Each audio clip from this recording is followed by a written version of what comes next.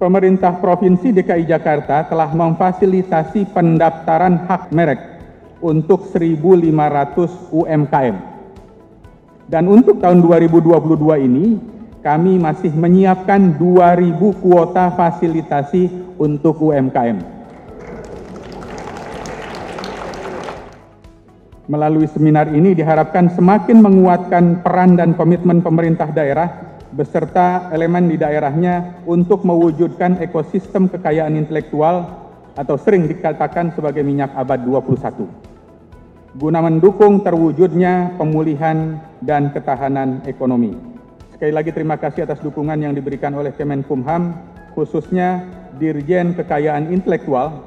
Semoga amanah ini dapat ditunaikan dalam memberikan perlindungan bagi karya-karya intelektual yang dihasilkan oleh para kreator, inovator, dan pelaku ekonomi kreatif.